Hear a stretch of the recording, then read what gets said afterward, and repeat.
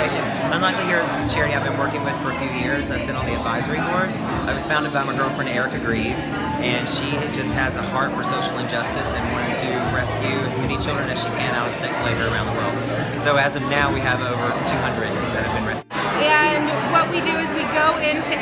where children are trapped and we rescue them out and then we bring them into our restoration home. So every rescue child that comes into our home is actually given education, medical care, life skills, everything they need so they can live a fully transformed life of freedom. There's 27 million people who are trapped in slavery all over the world. We're rescuing girls out of slavery here in the United States as young as 12, 13 years old, sometimes younger, and these kids need a home and they need everything they need so they can live a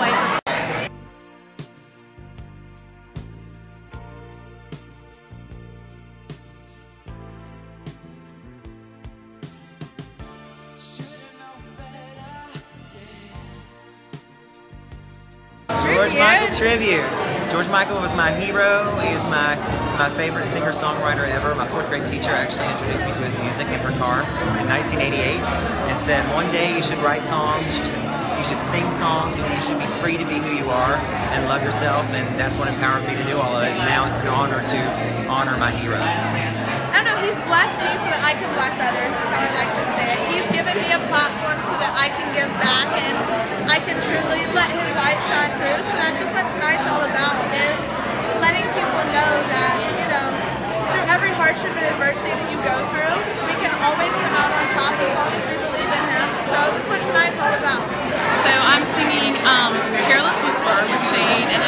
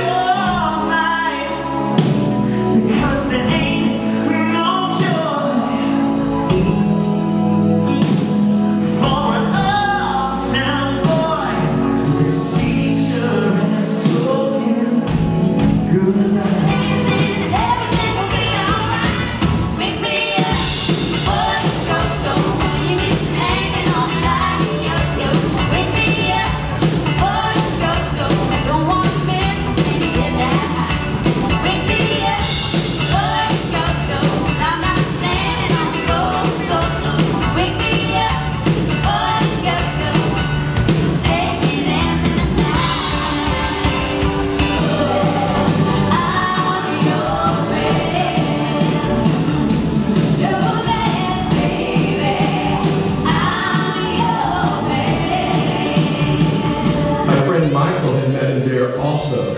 And so they were in the, in the, sauna, and so George looks at him and goes, hello, I'm George. And then he goes, Michael. He goes, I know my own last name.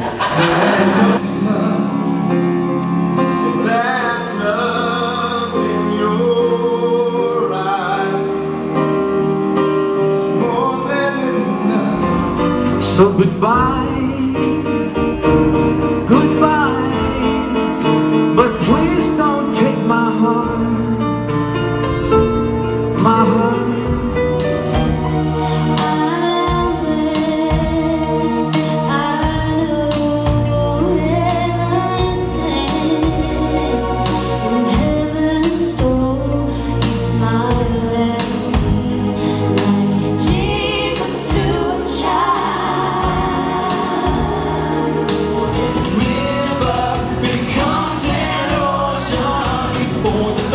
heart